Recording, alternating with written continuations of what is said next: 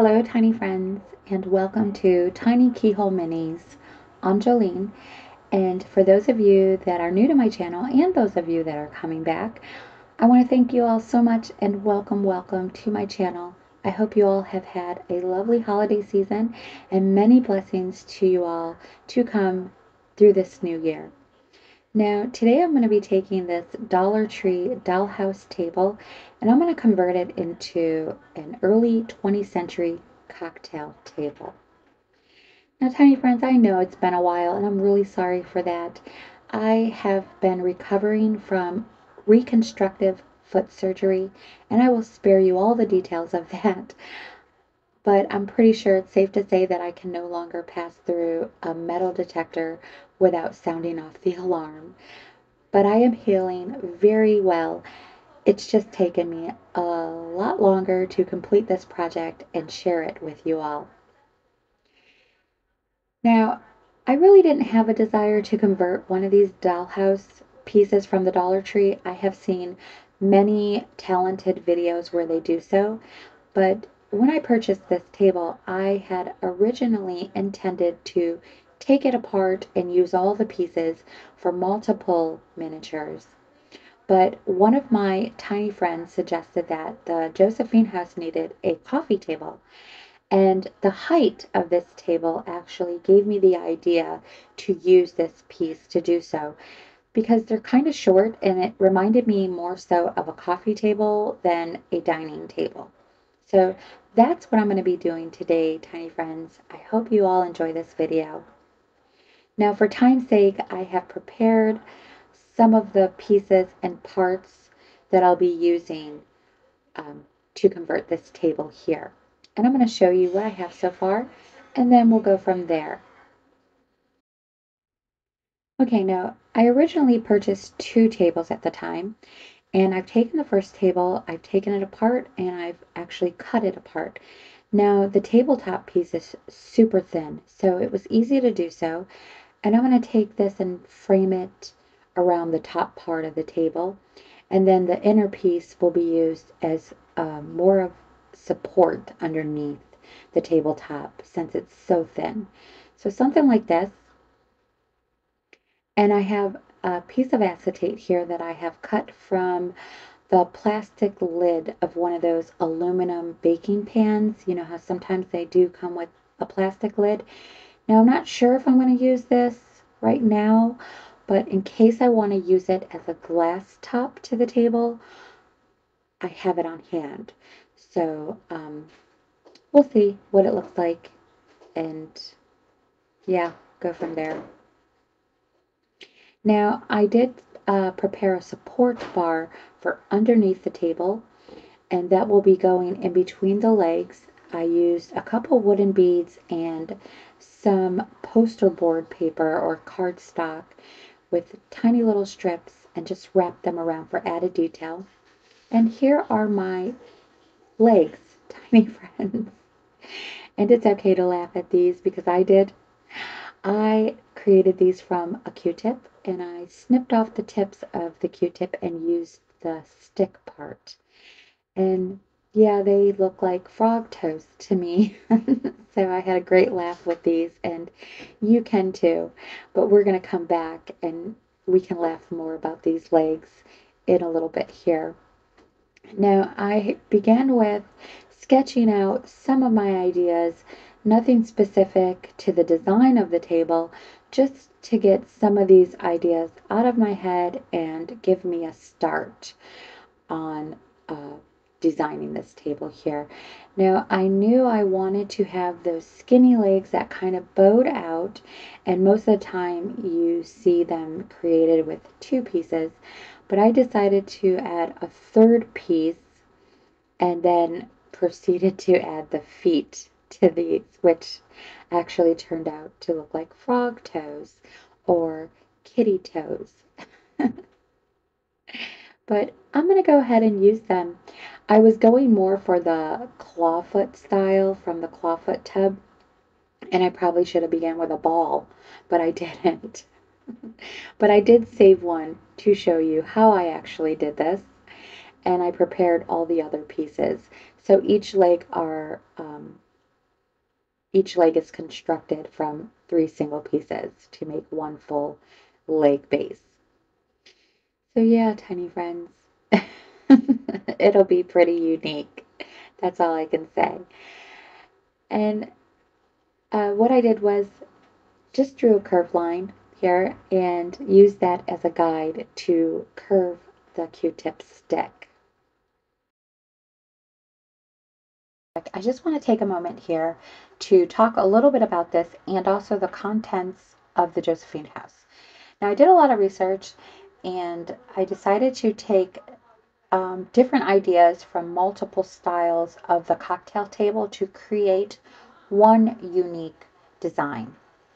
And in the beginning, they were called cocktail tables, and they were used more so by the European elites, which really isn't surprising, right? But they were shorter and more stout in size and design, and then had a removable glass top that was used as a serving tray. And then they began to be built more narrow and slender on the tabletop, which I will not be doing with this one because Tiny Friends shaping and sanding really isn't one of my favorite things to do. So I'm going to work with this with as is and just get creative with it. Now, a lot of the photos from the 1930s, a lot of the interior photos, they didn't even have a cocktail table or a coffee table. Um, so that really wasn't, uh, it really didn't become more of a popular common household item until after the war. So sometime during the late 40s. I know it was post-war when they became more common in the household. Now, to discuss the contents of the Josephine house. Over the break, I was thinking about the couple in the house, and I realized that they are now in their golden years during the 30s. And uh, a lot of the photos of the interior furnishings of the 30s were older and more so from the previous century or the 1800s. And so I'm going to keep that in mind when I continue to create uh, furnishings for the house because, you know, things have been passed down through the generations and maybe the couple has had pieces for several years or, you know, all their lives. So I'm definitely going to be more aware of that as I'm creating more furnishing pieces for the house. Not everything you see is going to be modern from the, that era in time. Okay, going back to my frog toe feet, legs. I used three materials to construct these legs here. And I have my DAS air dry clay, uh, Q-tips as you've seen, and my Gorilla Wood Glue, which is a superb component when using air dry clay. And this is how I came about with these frog toe feet. I've just taken a very small amount of the air dry clay and uh, rolled a tiny little piece into a snake-like form, and rounded one end and pointed the other end. And I'm really sorry that most of this will probably probably be out of frame and off the camera because it was really hard to try and keep it underneath the camera while I was working with it. Um, but I just curved it a little bit and it kind of looks like a little teardrop shape. And this is what it looks like. And I'm just going to need three of these tiny little pieces. So once I get all three pieces, I can go ahead and begin to glue them onto the stick. So starting with the middle piece, I just dipped it into the wood glue and laid it right on top of the stick and began to mold it right around that stick and shape it and secure it nice and tight there.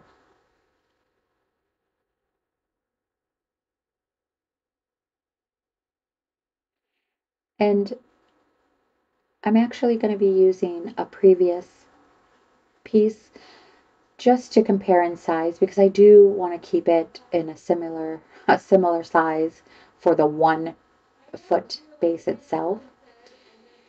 But once I got that uh, nice and secure, I just ran a little bit of wood glue along the whole side of that first toe and applied uh, the second toe.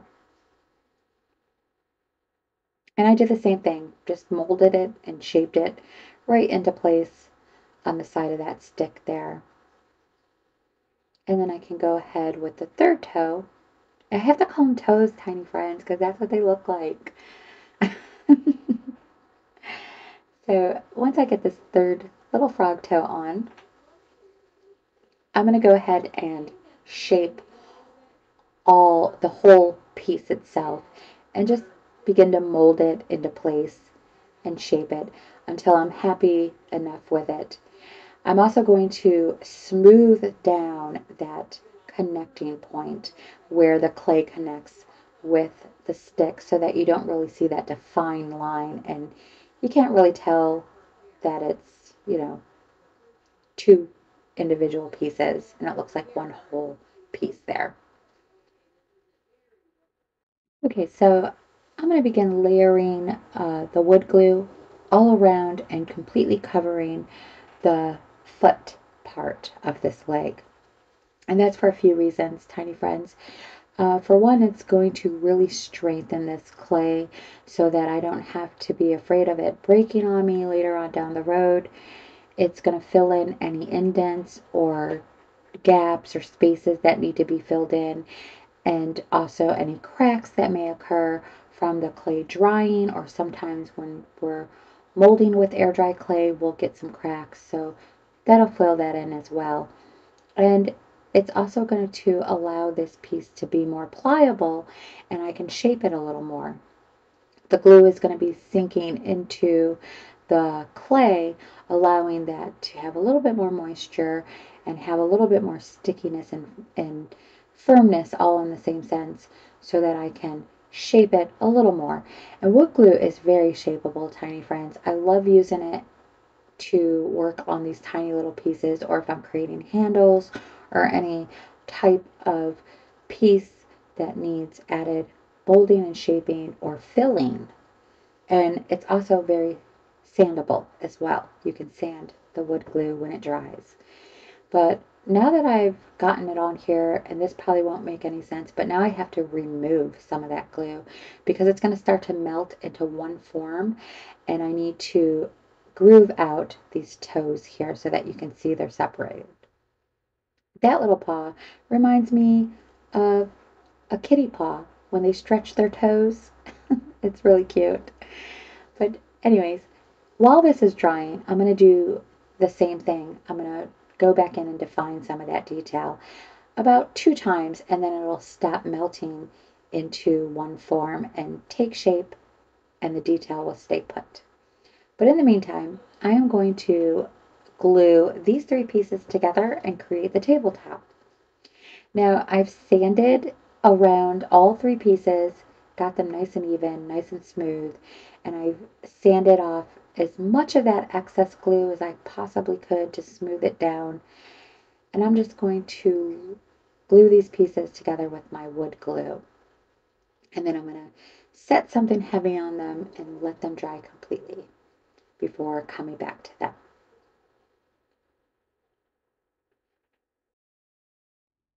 Okay, back to my legs, tiny friends.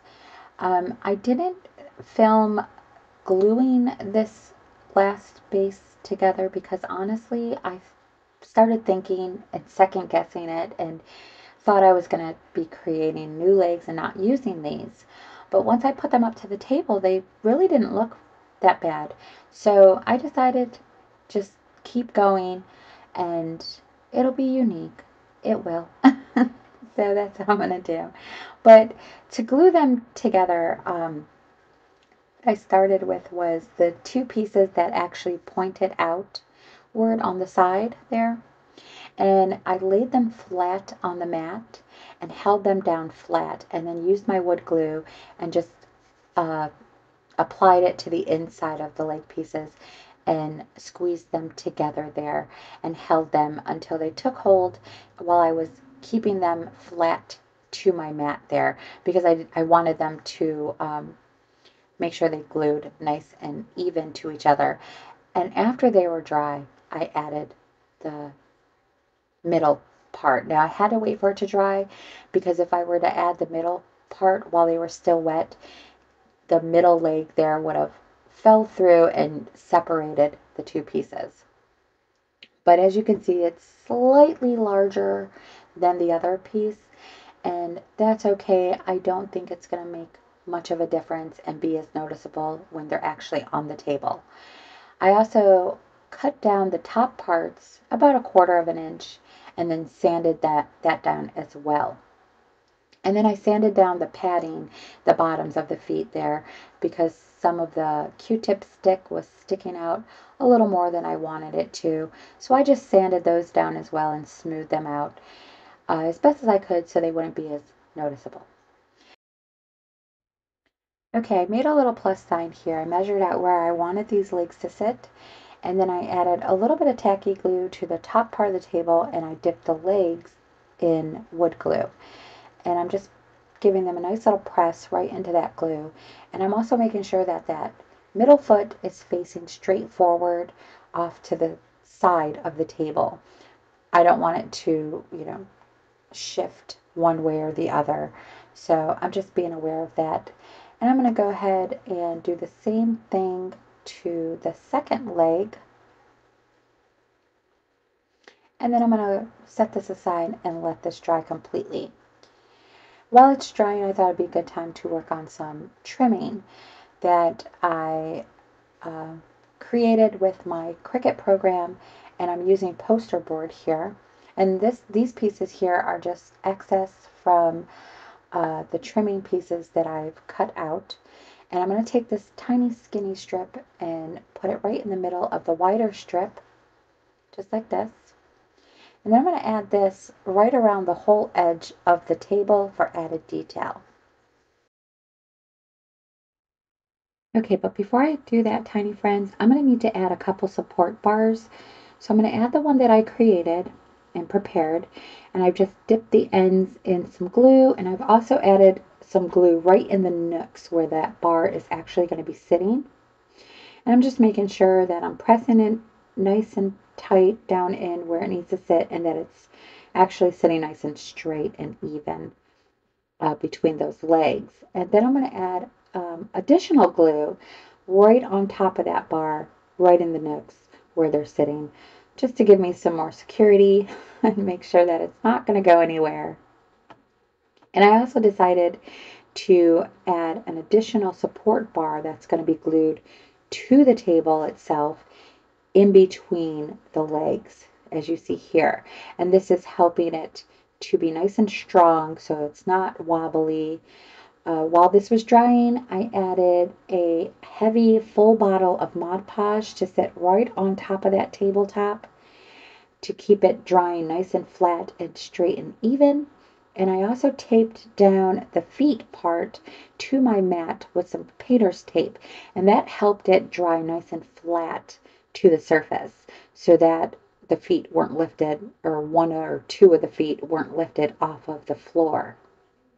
So that helped really well.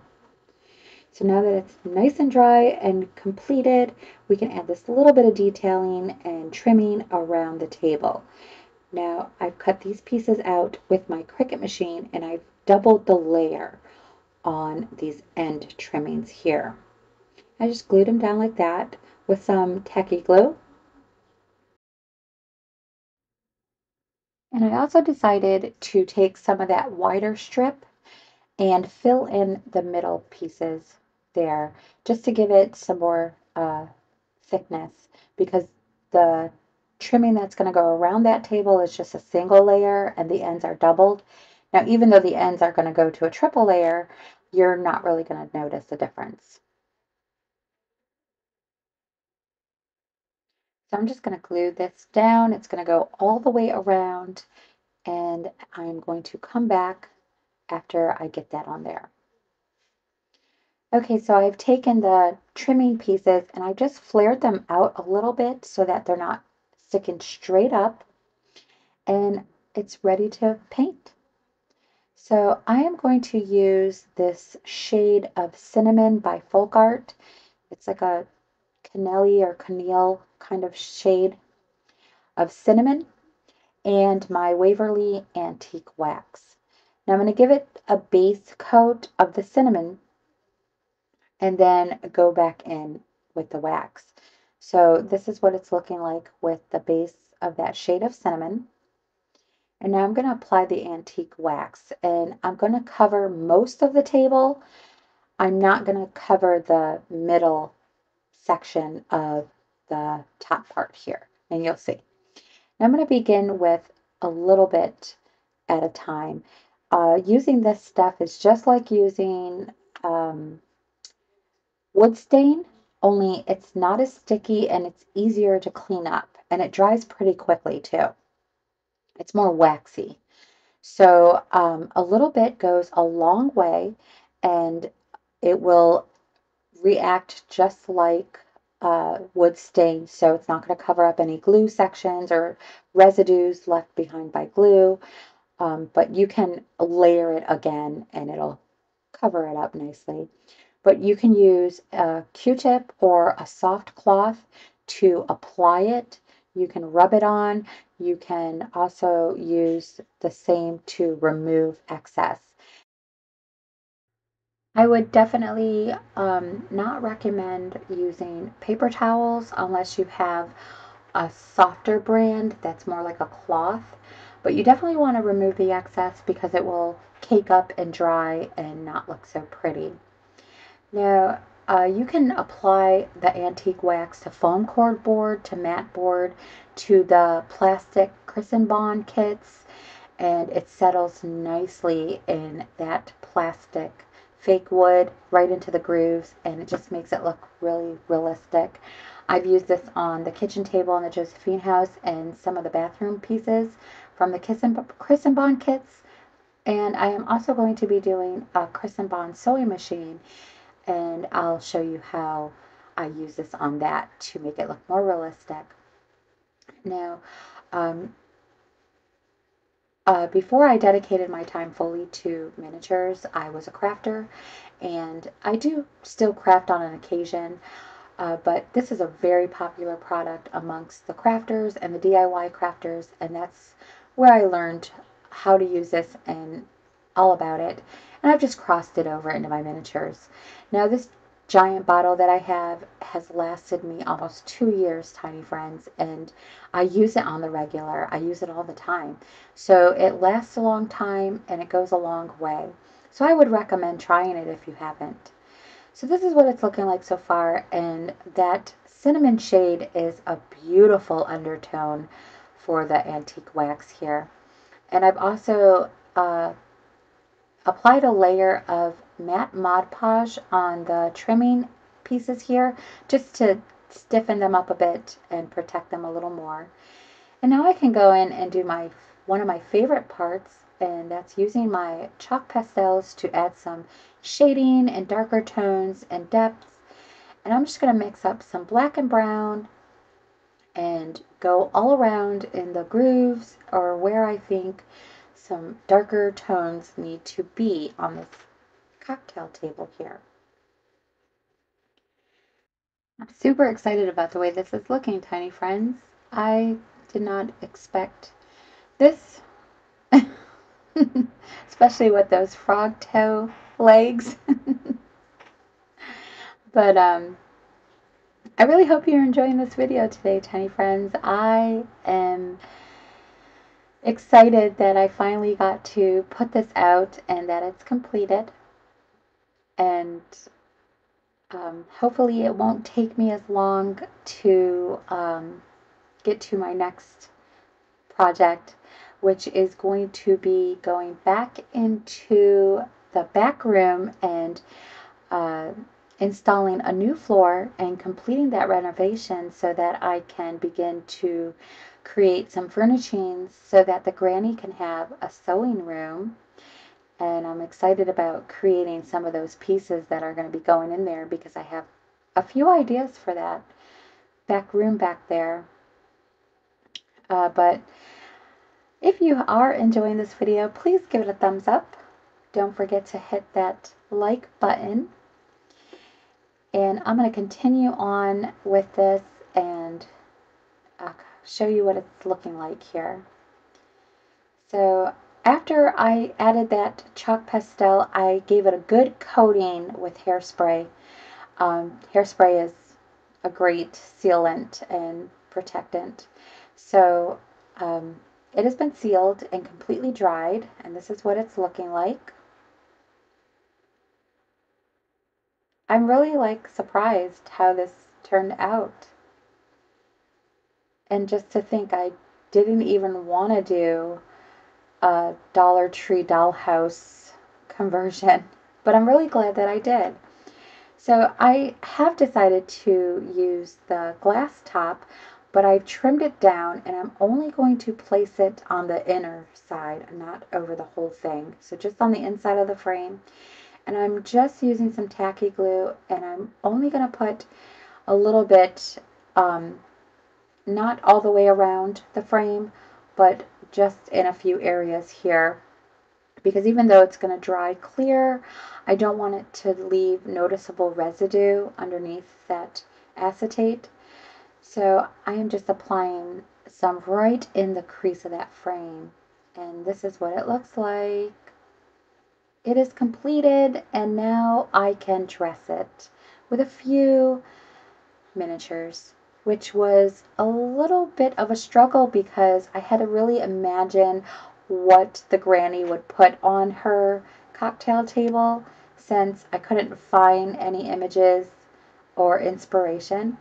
Now, I created this little serving tray, so if you all want to see how I created that, just let me know so in the comments below. I will definitely be creating some more. And if you want to know how I did this, I will do a video and show you how. I love it. It came out really nicely. And um, I'm just going to use my imagination. now, I really wanted to go with a different vase on those flowers, those dried flowers, but they are like hot glued in there, so I couldn't pull them out. But that's okay it worked out in the end. And we have this little fly swatter. So if you also want to know how I created that, I can do a video on that. It wasn't very hard at all. It was pretty simple, actually. I actually created another one for the kitchen. so let's look at this in the living room. And let me know what you think in the comments below. And don't forget to like, share, and subscribe. And if you are subscribing, do not forget to hit that top bell notification button to be notified every time I upload a new project. I know the granny just loves this cocktail table. I am so glad that I just decided to go for it. It makes a lovely addition in the 1930s living room. Now, I'm going to be jumping all over the house. Um, I just usually go wherever my mind tells me to go and create whatever my mind thinks I need to create. Um, so I'll be back upstairs in my next video to complete that renovation. And I just feel like it's more exciting that way. I don't like to stay put in one area until it's fully completed. Um, I just basically go wherever I feel the need to go and create that way. Um, I want to thank you all for joining me on my journey. I am so thankful. My channel is growing like super fast, and I'm really surprised about that. So, thank you all so much for subscribing. And until the next time, have a lovely day. Bye bye.